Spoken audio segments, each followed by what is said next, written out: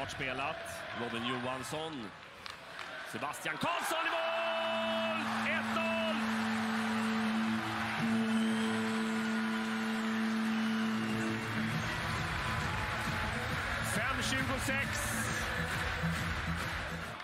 Det är enda gången man har haft ledningen. Här kan det bli mer, här blir det mer, här blir det straff! Det är straff för Linköping.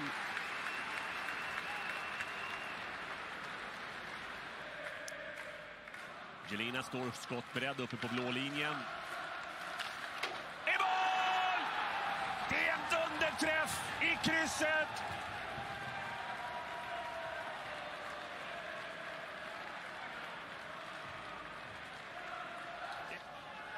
Som är puckbekväm.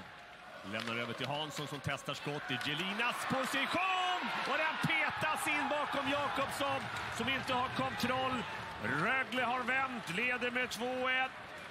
Och målskytt är Taylor Madsen. Depp för Robertson. För det är där han ska stå. 50 sekunder kvar i spel 5 mot 3. Här kommer skottet i plocken! Skottet går i plocken på Jakob Johansson.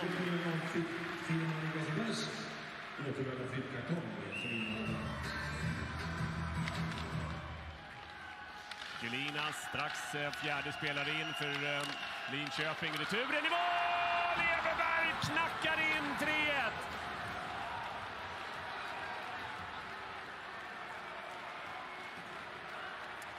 I numerärt överläge. Dennis Everberg.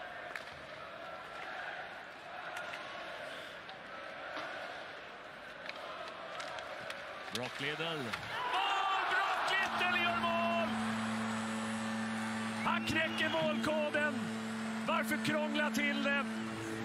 Är inte det vackraste målet han har gjort i karriären? Ja, det var kul. Jag eh, eh, tycker vi gör en bra match också. Eh, lyckas hålla ihop även om det blir det är ordentligt tryck där på slutet. Så.